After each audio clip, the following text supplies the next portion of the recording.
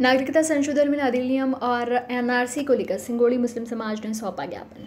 छिंदवाड़ा ज़िले के सिंगोड़ी ग्राम में शुक्रवार को मुस्लिम समुदाय के लोगों ने जामा मस्जिद के सामने अमरवाड़ा एसडीएम को ज्ञापन सौंपा।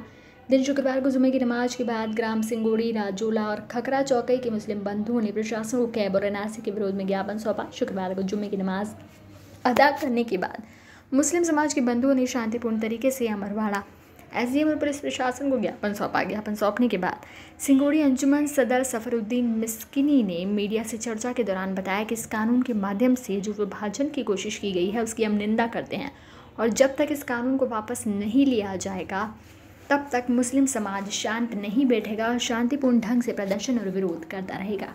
NDV time news reporter Yogesh Yogesh Chaurasia की report Singodi. NTV time news reporter Yogesh Chaurasia की रिपोर्ट, सिंगोड़ी।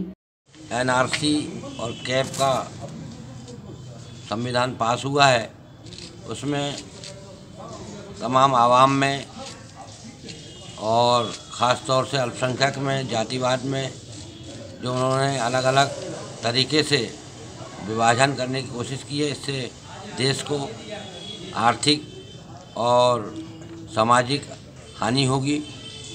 और भारत के अंदर अमन अमान सुकून छिनने का अंदेशा है।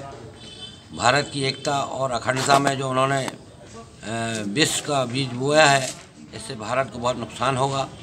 ख़ास तौर से मुस्लिम समाज इसकी भरपूर निंदा करती है और शांतिपूर्ण तरीके से इसका विरोध करती है जब तक यह कानून वापस ना लिया जाए, जब तक मुस्लिम समाज अमन और चैन से नहीं बैठेगी। शांतिपूर्ण तरीके से अपना धरना प्रदर्शन आंदोलन करेगी।